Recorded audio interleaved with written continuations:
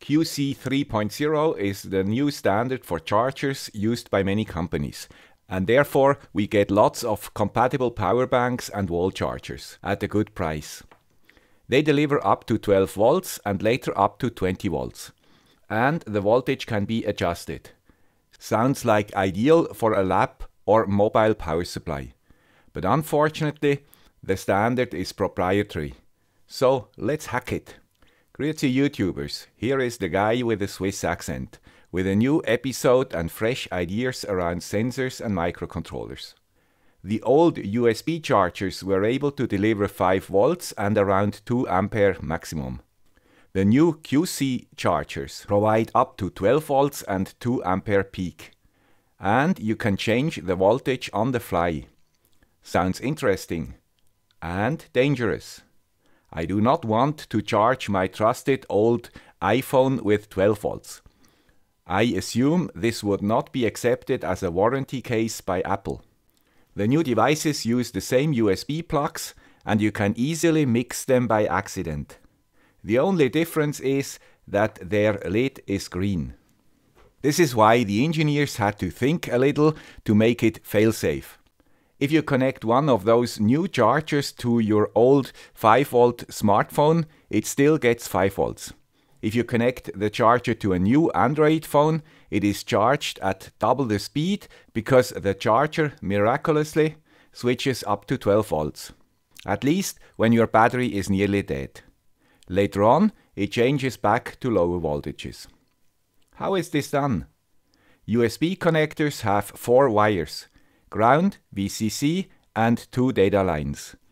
These two data lines are called D plus and D minus and are not necessary for charging. This is why smart engineers had the idea to use these wires for signaling between the charger and the phone. This principle was invented by Apple a long time ago, if I'm correct, but only to change the charging current, not the voltage. Qualcomm later came up with the QC 2.0 standard. It had to be completely backwards compatible. Therefore, they had to design their standard around the already existing Apple devices which used signals on the two pins. With the old Apple devices, the charger signals its readiness to deliver more current, and the device either takes or leaves the offer. This is a one-way communication from the charger to the smartphone. This was no problem because the voltage was always 5 volts and nothing can be destroyed by just offering more current. Completely different from the new standard where the charger easily can destroy the phone with an overvoltage. Here we need a two-way communication. And here it's how they solved it in QC 2.0. I draw the D plus voltage on the x-axis and the D minus is on the y-axis. Here are the 5 volts limits. As with Apple, the signaling is done at different voltages. Because the standard is proprietary, we do not precisely know where the levels are. Trial and error were needed by various people to get this diagram. I base my work on Vince's blog. You find a link in the description. First of all, we look from the smartphone towards the charger. The smartphone assigns different voltages to these data wires to signal the charger its capabilities, not the charger. So the communication direction is reversed compared to the Apple standard. A few possibilities exist. The first one is the smartphone does not apply any signals. This results in this point on our chart. No voltage on both data lines. This point is not used by QC chargers. I call it P0. The standard says that chargers have to connect the two data lines at this point. Important to know, if your voltage on D plus and D minus are exactly the same, the charger is in standard mode and delivers 5 volt as all legacy chargers. By the way, in reality, P0 is not always at 0 volts. For this wall charger and the QC connector of this power bank, the voltage was 2.7 volts, which signaled my iPad to charge full throttle at more than 2 ampere. But as said before, in this state both data lines are short-circuited and not used by the QC standard. As a first step, the smartphone assigns 0.6 volts to D+. I call this point P1. The charger senses this voltage and, after around 1.5 seconds, it opens the connection between the two wires. It is now in QC mode and allows different voltages on both data wires. This is how the charger signals the smartphone I am QC ready. You see, it is a two-way communication and the smartphone now can demand whatever voltage it desires. It does that by staying on P1 or choose P2 or P4. If it assigns a particular voltage pair to the data lines, the charger reacts with a specific voltage 5, 9, 12 or, if the charger permits, also 20 volts. That's all. The charger stays in QC mode till the smartphone signals P0 or the cable is disconnected. Then it closes the connection between the two data lines again and does no more react to QC commands. It behaves like an ordinary charger again. I use these two devices for my tests. A Blitzwolf wall charger with one QC and two normal ports and a 10,000 milliwatt hours power bank with one QC and one normal port. Both devices are sponsored by Blitzwolf. Thank you very much. Both devices deliver up to 2 ampere maximum at 12 volt on the QC port even if it's only rated at 1.5 ampere. I assume it will start to throttle if it gets too hot. I was able to draw the specified 1.5 ampere over a long time. The only difference between the two is that the power bank does not signal anything to the Apple devices on the normal port. So you have to plug the devices into the QC port if you want the full 2 ampere. You see, if you know how, it's quite easy.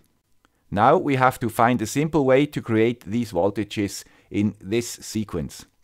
Vince used a standard Arduino and a resistor network. Because we never need 5 volts, I decided to use a 3.3 volts Pro Mini.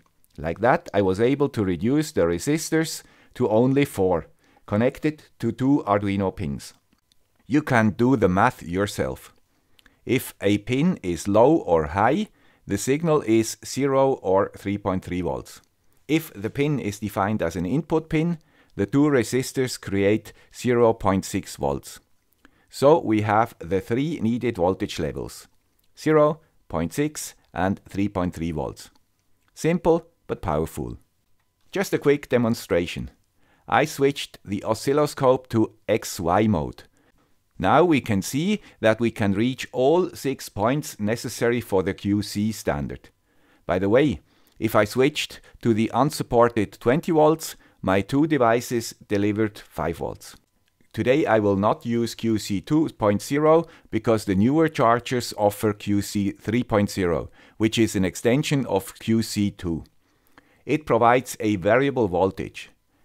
If we look at our diagram, we see one point is still not used. The Qualcomm engineers use it for the so-called continuous mode. I name this point P3. If you switch to P3, the charger changes to QC3 mode. And if you quickly change between P3 and P2, the value of the output voltage is reduced by 0.2 volts. If you shortly go to P5 and back, the voltage increases by 0.2 volts. Simple. Be aware that you have to keep track of the voltage level because you only can go up or down. And because Vince wrote a small library, it's even simpler. We can select any voltage and the charger or the power bank will adjust immediately.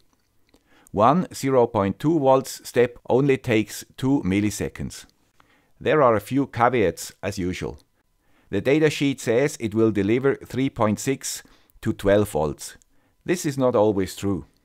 Not for the charger nor for the power bank.